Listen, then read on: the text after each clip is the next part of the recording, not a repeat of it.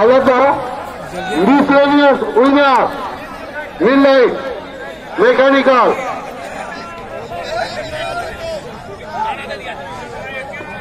राघव वर्ग quarter pre quarter final हो गया।